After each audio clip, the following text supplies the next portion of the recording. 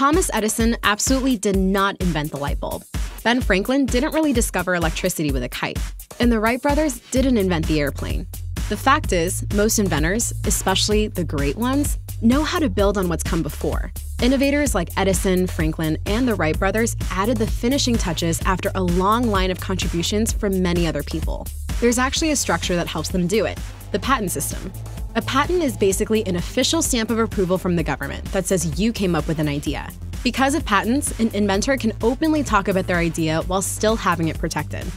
By making it safer to share ideas, patents can lead to new inventions that change our lives. IBM received more than 9,000 patents in 2017, by far the most ever in one year by any company, and they've led the US in patents for 25 straight years. So, what did they patent in 2017? Well, do you ever worry that there are certain hazards a self driving car just can't handle? One of IBM's latest ideas constantly evaluates whether the self driving vehicle or human driver is better suited to drive in a given situation. It could then automatically turn control over to the human driver, helping prevent accidents. What about the hazards we face online?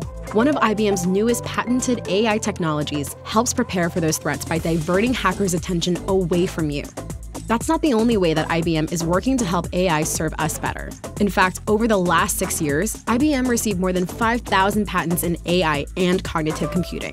These advances are made possible with patents because patents make it safe for inventors to collaborate. That's how companies like IBM can take advanced technologies and turn them into something that can improve our everyday lives. Share this video if you think more people should know about the power of patents.